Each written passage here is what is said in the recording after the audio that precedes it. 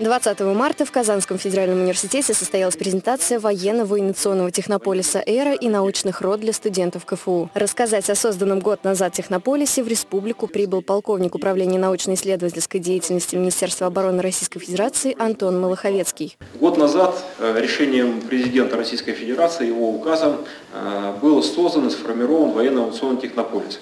Создан он был в городе Анапа, э, на берегу Черного моря стоит технополис – и на данный момент у нас уже э, созданы 4 научных роты, развернуты 18 научных лабораторий.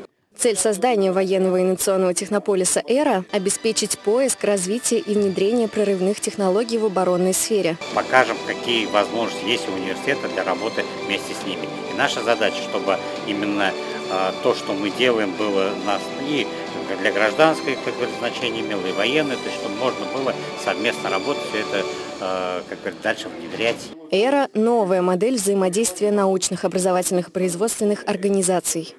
Пристальное внимание уделено образовательным программам для молодых ученых в рядах российской армии. В ходе презентации студенты КФУ узнали о возможностях, предоставляемых технополисом «Эра» для их дальнейшего развития и повышения квалификации. У нас уже трое э, ребят учатся, э, то есть э, служат в этих ротах.